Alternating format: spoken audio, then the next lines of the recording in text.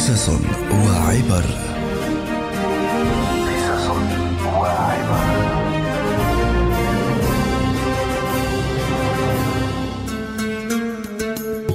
يحكيو على معلم يقري في ست عميان.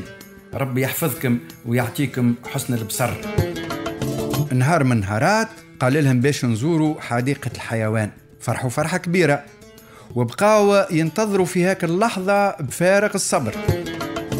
قال واحد منهم خسارة مناش باش نراو شيء. قال له صاحبه على الأقل نشموا ريحة الشجر ونسمعوا الطيور والبشر. وقال الآخر نلمسوا ونسمعوا ونتخيلوا جاء النهار اللي خرجوا فيه للزيارة وصلوا للحديقة دخلوا طلب المعلم من الحارس باش يسمح لهم يلمسوا حيوان من الحيوانات اللي ما منهاش ضرورة. على خاطر الجماعة ما يراوش. قال الحارس عندنا فيل موالف ما منه شر. حللهم القفص وكان العمل كيما اتفقوا. دخلوا لقفص الفيل. لول المس الخرطوم. سألوا المعلم على شكل الفيل. قالوا سيدي يشبه الثعبان. الثاني المس الذيل. سألوا المعلم على شكل الفيل. قال له سيدي يشبه الحبل.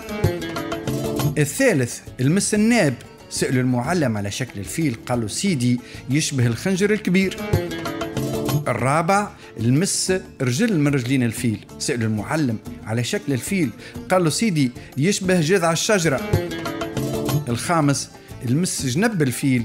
سألوا المعلم على شكل الفيل قال له سيدي يشبه الحيط.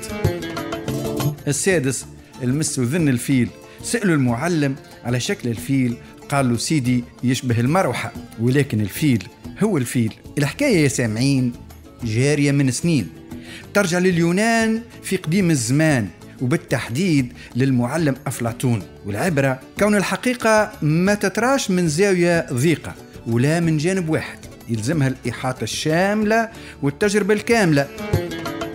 النسر قالوا له كيفاش ترى فريستك في الأرض وأنت في العلالي؟ قال حدة البصر. وبعد النظر. وإن شاء الله يرزقكم المولى الصحة وطول العمر.